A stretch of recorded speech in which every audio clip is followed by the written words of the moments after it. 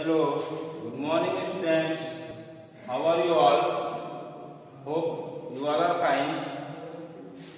Students, today we will see a question answer. Chapter two my family है आज हम लोग क्वेश्चन आंसर देखेंगे क्वेश्चन नंबर टू है answer the following question in your notebook notebook में आपको right करना है हमने यहाँ क्वेश्चन लिखे हैं आंसर भी लिखे हैं। क्वेश्चन ए है write down two things that your parents do for you chapter family का क्वेश्चन है माई फैमिली का क्वेश्चन है।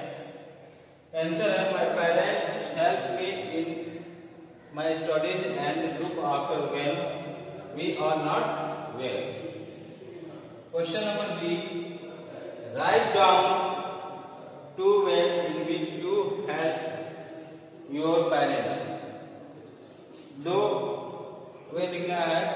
दो, चीज़, रास्ते बताना है। जिससे आप अपने पेरेंट्स को हेल्प करते हैं। टू थिंग्स लिखना है। आंसर है the two ways in which I help my parents are clean the house and put the cloth in cupboard ठीक है? स्टूडेंट्स ये क्वेश्चंस आंसर आप अपने नोटबुक में करिएगा।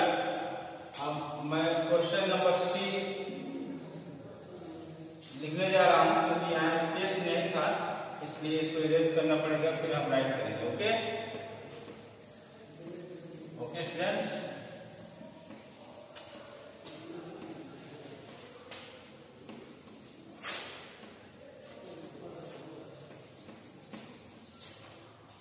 Question number C has given, write down two fun things. C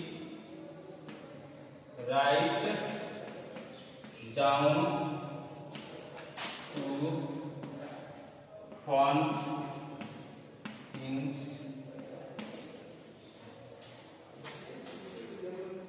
that you like doing with your parent. That you like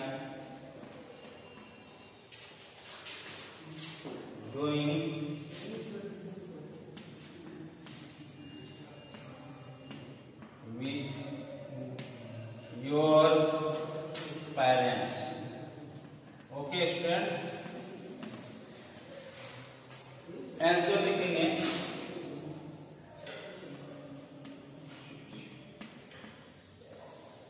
question है write down two fun things that you like यहाँ लिखेंगे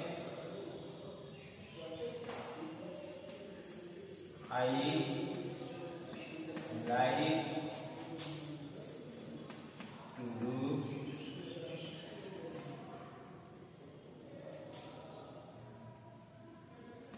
I like to do fun.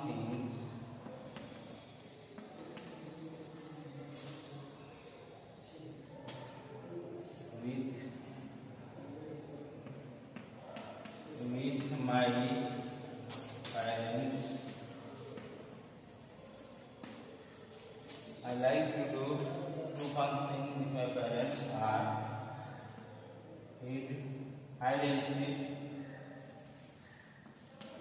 hide and seek, and play game.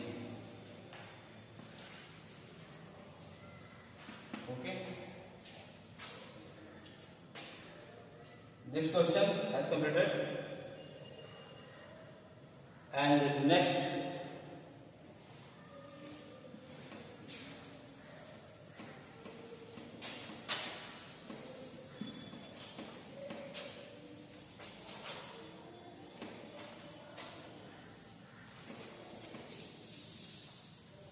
Next has given who is the question number three. Question number three has given who is the who is the oldest oldest? Who is the oldest person in your family? Oldest person in your family. Who is the oldest person in your family दिया है। यहाँ माई दिया है। उसके बाद space दिया है। Name दिया है। ठीक है? स्पेस दिया है। एज दिया है। स्पेस दिया है। ईयर्स एज जो है ईयर्स ठीक है?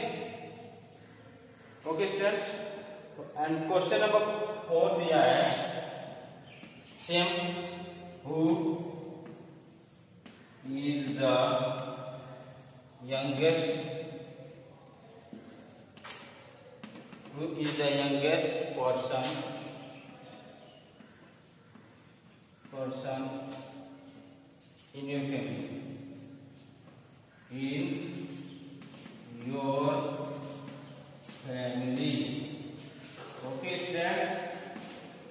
ये दो क्वेश्चन दिए हैं। यहाँ आप अपने हिसाब से, अपने दिमाग से भरिएगा। मैं इसको हेल्प कर दे रहा हूँ। इसमें भी दिया है माई स्पेस दिया है नेम दिया है। ठीक है? एज दिया है। एज दिया है ठीक है? अब इसको अपने हिसाब से फिल करिएगा ओल्डेस्ट पर्सन कौन है? अब इसको आप ही बता सकते हैं आपके फैमिली में सबसे ओल्डेस्ट पर्सन कौन है?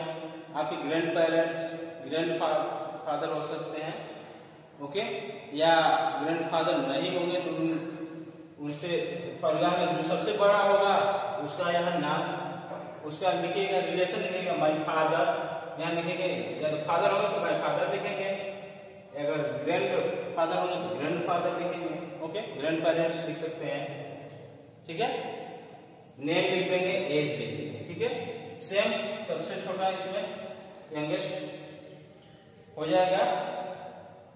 ओके स्टूडेंट्स आप लोग इसको करिएगा। ये चैप्टर आपको समाप्त होता है। और कुछ टॉपिक है। पेज नंबर सेवेंटीन पे दिया है। कुछ topics remember page number seventeen page seventy पे दिए हैं। लेट्स रिमेम्बर इसको लर्न करिएगा। हार्ड वर्ड लर्न करिएगा। न्यू वर्ड्स दिया है, उसको लर्न करिएगा। मैजिक वर्ड भी दिया है, उसको लर्न करना है। ठीक है? Okay thank you have a nice day